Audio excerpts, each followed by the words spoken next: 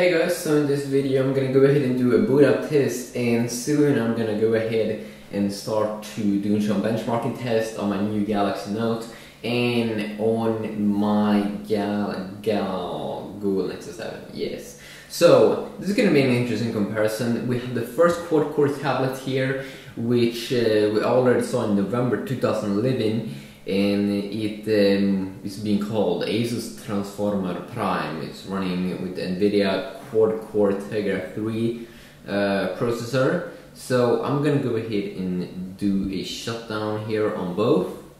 And then we have of course Samsung Sunny Boy's new uh, Galaxy Note 10.1 with the Exynos quad-core chipset, which is crazy.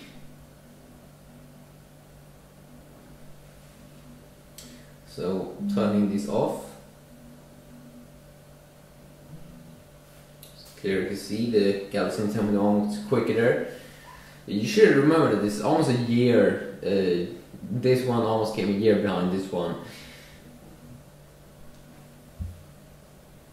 Let's see, let's go.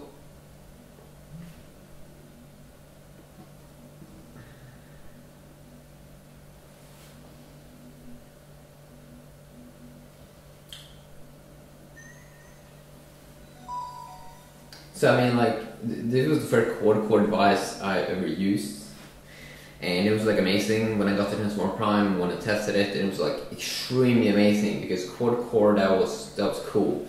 As you see, Sammy Boy is winning.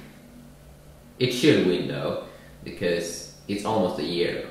It's almost a year ago we saw the first things of the Asus Transformer Prime. But it really is quicker over here. Wow. I mean, like Tegra 3 is not extremely old, but or it's been here for some time, but uh, still.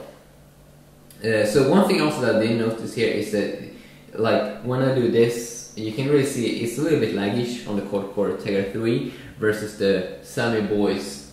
It, it's it's just better performance on that boy. It's definitely better performance, but of course these are both amazing tablets especially this one because you can dock it to a keyboard. That's not something that I'm pretty sure you can't do with the Galaxy Note 10.1. But of course we have the S Pen on the Galaxy Note 10.1, which still makes it pretty, pretty extremely cool and one of my favorite tabs. Yes, yes, yes, yes, yes. Um, so, um, yeah. So I'm just gonna go ahead and end this video right now. Hope you enjoyed it. I'm gonna do some benchmarking tests pretty soon. Hopefully I will begin with those today. Uh, I might also do one more good up test, but then, you know, I think we're gonna go ahead and continue with the next comparisons. Yes, bye bye.